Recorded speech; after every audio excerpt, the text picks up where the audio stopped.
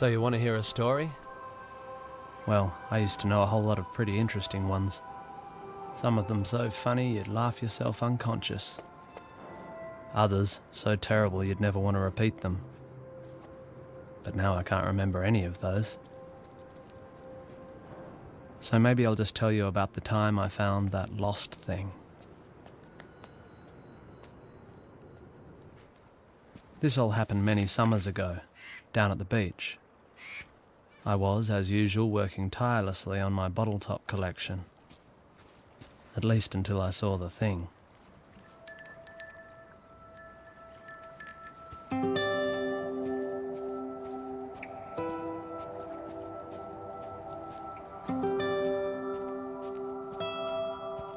It sure wasn't doing much. It just sat there with a really weird look about it. You know, a sad, lost sort of look. Nobody else seemed to notice it was there. They were all too busy doing other stuff, I guess.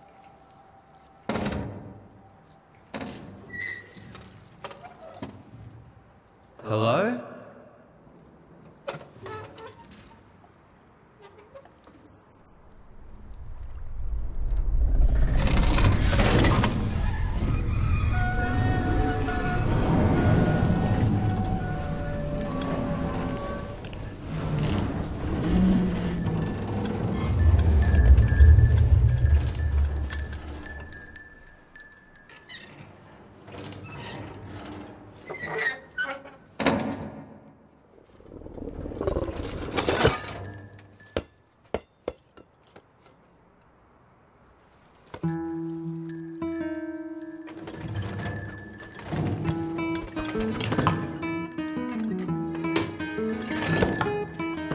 Turned out to be really friendly, and I played with the thing for most of the afternoon.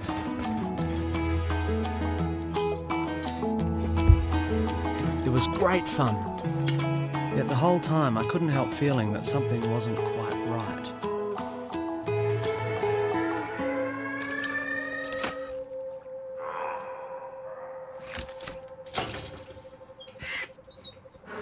As the hours slouched by, it seemed less and less likely that anyone was coming to take the thing home. Soon there was no denying the unhappy truth. It was lost.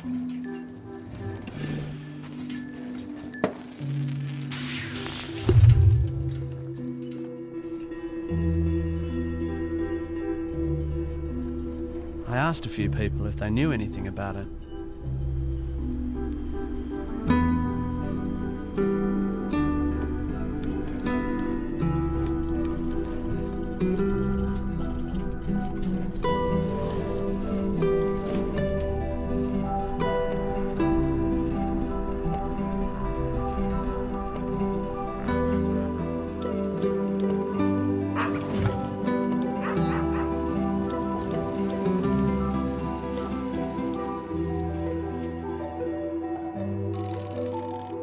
Took the lost thing over to Pete's place. Pete has an opinion on just about everything. Cool, he said. Pete didn't know what the thing was exactly. But he said what he always does that all physical manifestations could be identified empirically through careful observation, calibrated measurement, and controlled experimentation.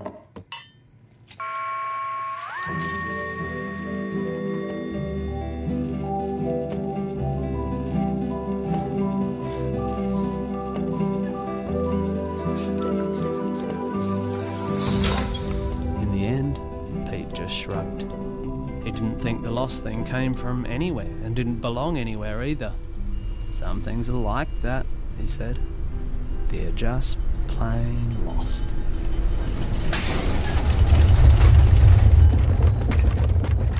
There was nothing left to do but take the thing home with me. As for my parents, well, they already knew that Mum would be concerned about how filthy its feet were and that dad would be worried about all sorts of strange diseases. And they both just wanted me to take it back to where I found it. But it's lost, I said. Not that it made any difference. I decided to hide the thing in our back shed, at least until I could figure out what to do next. I mean, I couldn't just leave it wandering the streets.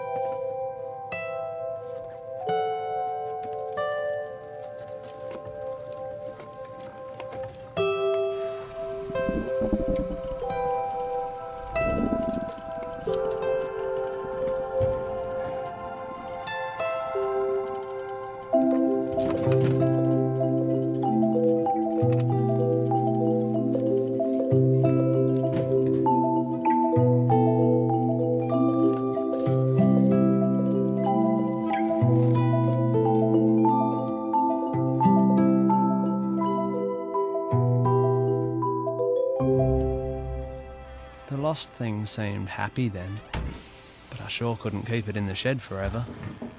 Mum or Dad would eventually notice it when they came out looking for a hammer or something.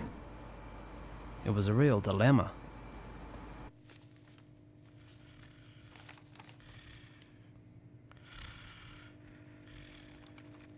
Are you finding that the order of day to day life is unexpectedly disrupted? Do you suffer from unclaimed property? Objects without names? Troublesome artifacts of unknown origin? Things that just don't belong? Don't panic. We've got a pigeonhole to stick it in. The Federal Department of Odds and Ends. The next morning, we caught a tram all the way into the city.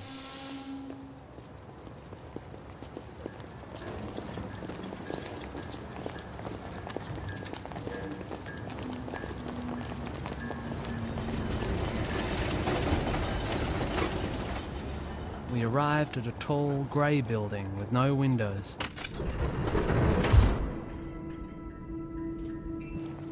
It smelt like disinfectant.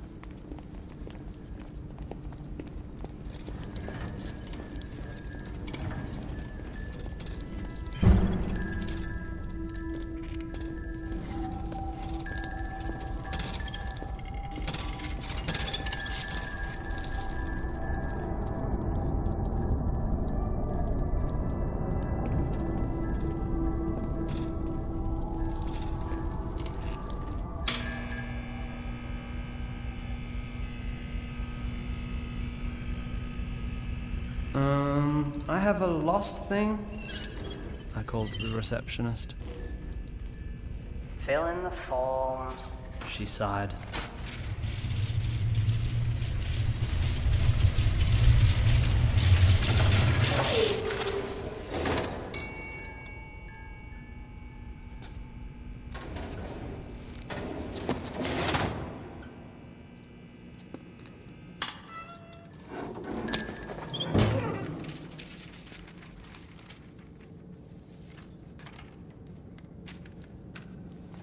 I was looking around for a desk when I suddenly felt something touch my elbow. And then there was a tiny voice.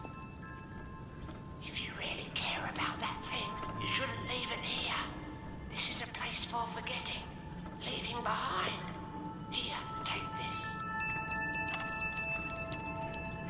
Uh, cheers, I said.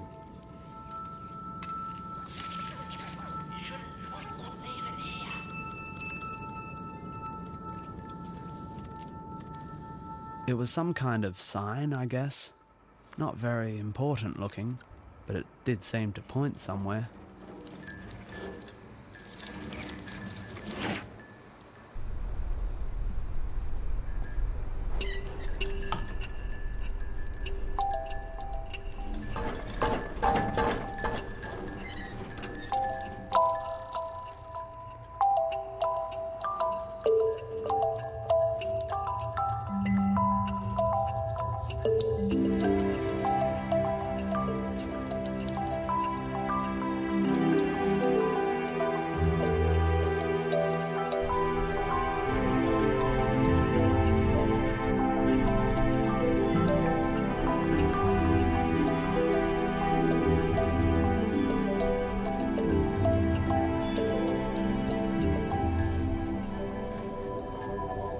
Eventually, we found what seemed to be the right place in a dark little gap off some anonymous little street. The kind of place you'd never know existed unless you were actually looking for it.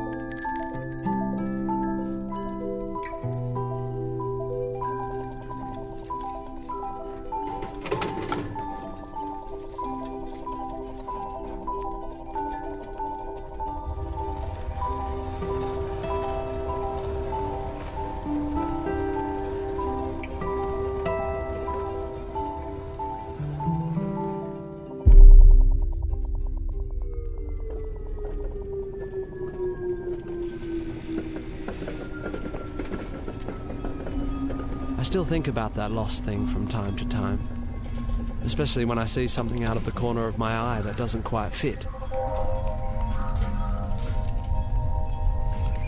You know, something with a weird, sad, lost sort of look. I see that kind of thing less and less these days. Maybe there aren't many lost things around anymore. Or maybe. Maybe I've just stopped noticing them. Too busy doing other stuff, I guess.